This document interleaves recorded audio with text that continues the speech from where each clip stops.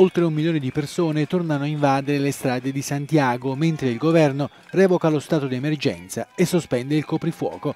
Il Cile cerca di voltare pagina pacificamente, togliendo l'esercito dalle strade che a troppi ricordava gli anni bui della dittatura di Pinochet. Dopo quella che si ritiene essere stata la più grande manifestazione nella storia del paese contro le disuguaglianze, il caro vita e la corruzione, il capo dello Stato, Sebastian Piñera, annuncia un vasto rimpasto di governo.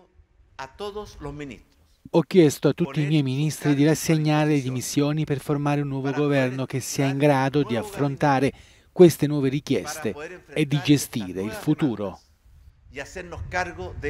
Resta il problema dell'immensa diseguaglianza e del totale sbilanciamento delle ricchezze, il bilancio di una settimana di violenze e di 19 morti, oltre 7.000 arresti e danni all'economia stimati in almeno 1 miliardo e 400 milioni di dollari.